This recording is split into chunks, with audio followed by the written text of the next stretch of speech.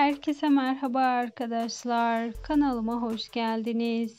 Yepyeni bir videoyla yine sizlerleyiz.